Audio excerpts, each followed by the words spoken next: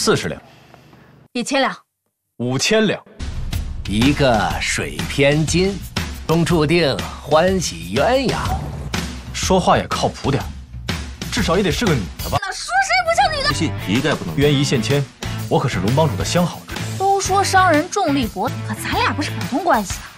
从今天起，这次不挂的给保护。